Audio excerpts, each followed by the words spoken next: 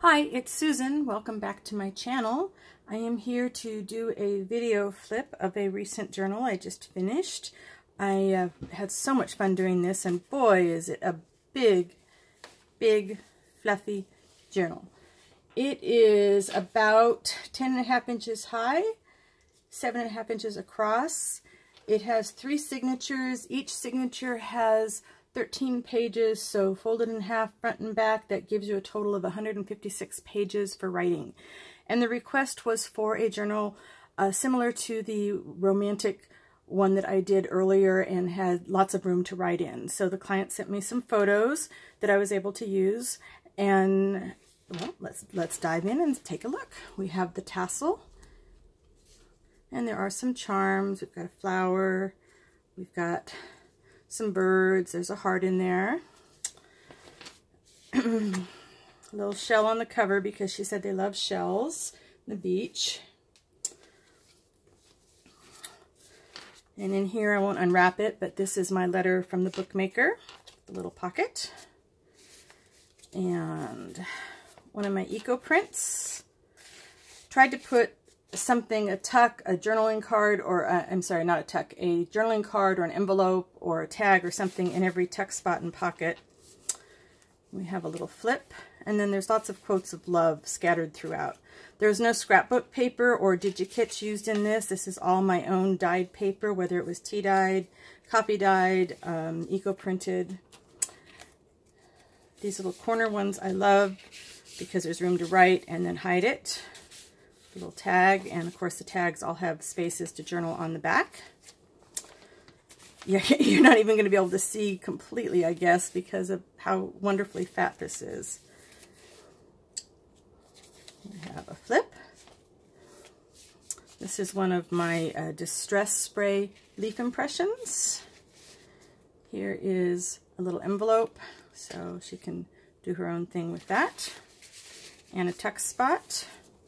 And I'm going to be having a, a uh, video down, uh, coming up soon on how I do these little quilted pieces. Paper clip, some more dyed paper. I put some paper over the edges. It just gives a nice texture to it. Some more journaling places.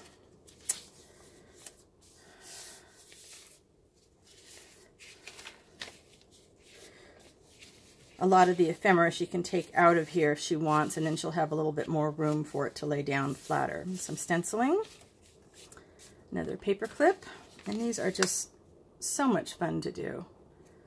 Just book pages folded in half and glued together with the paper clip in the middle, and then some little sari silk at the top. Another tag with another flip up spot. Another one of my eco-dyed pages.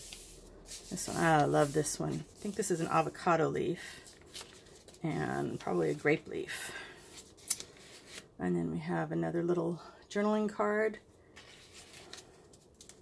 with a little flip. Text spot, and these are just some unattached envelopes, so she can journal in them if she wants to. She can, you know, use them as an envelope, whichever she wants.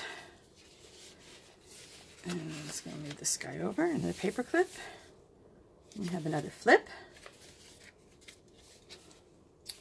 Just lots of little quotes, little pieces of paper for added texture. I just, I, I love texture.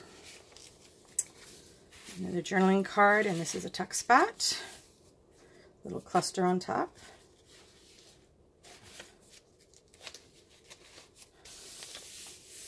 Lots and lots of spaces to write. And these are little books I make with uh, parchment paper. And, whoops, little poem on the inside. Fits in the belly band. It's another one of those little just blank envelopes that she can use however she wants. Writing space. Another little tuck spot. More writing space paper clip. I'm going kind of fast because there's a lot of pages in here. And I know you guys don't normally like to sit through a really long journal, but you want to see what's been going on. Here's another one of those little envelopes. I just, I really, I love the way they came out. Another little tuck spot with a flip. And yeah, I'm currently addicted to putting flips in journals. I just, I, I love it. It takes advantage of more, or gives you more space, takes advantage of the edge to give you a little bit more space and a little bit more interesting than just flipping the blank pages. And we have another flip. Again, just a little bit of paper on the edges there for some texture. Another blank envelope. This is the only scrapbook paper I used was with making envelopes, not on any of the pages themselves. The paper clip. There's a total of 12 paper clips throughout the book.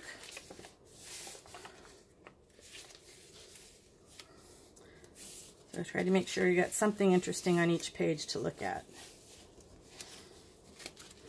And of course then she's going to take it and make it her own. A little bit of stencil. And another tuck spot with the flip up. Another eco print, and then we got the center there.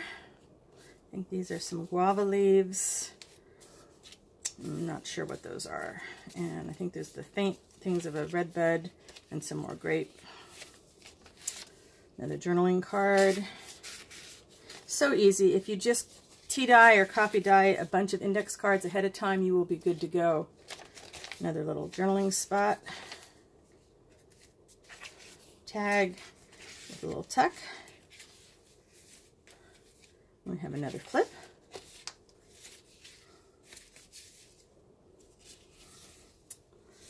This is some distress sprays, some leaf impressions on some of them. And we have another little tuck with one of those envelopes. Oops. We have a flip. And a paper clip. Another belly band with another one of these little parchment books. Great way to use up your uh, cut-offs. Leaf impressions, another tag. Of course, you can journal on the back of the tag, and you can journal in here. Journaling card. So I hope she'll be able to fill this up with lots of things that she loves. Paper clip. And another journaling card here with another tuck. And here we go, the last signature. Another journaling card. Tuck spot. Have a flip. These little flips like this are another great use of your scraps of paper that are left over after uh, making pages or something else. Journaling card. Flip. You still with me? And since I just love words and I love writing, it's so much fun to be able to put these little poems in there. Hope she enjoys them. Some more paper on the dyed pages. Another one of the little envelopes. And a tuck. Hope we don't have too many shadows in this one. I thought I had it set up, but it's storming pretty bad today, so I'm not sure. We have another flip. Flips do bulk up the book, but they are a lot of fun.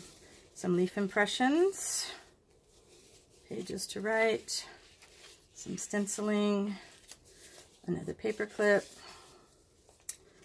another flip up, tag.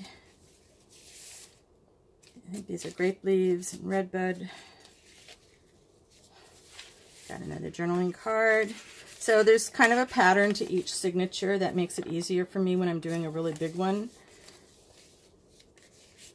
Tag the tuck. Home stretch. Another tuck. Flip. Home. Some more leaf impressions. Room to write. Little envelope and a tuck.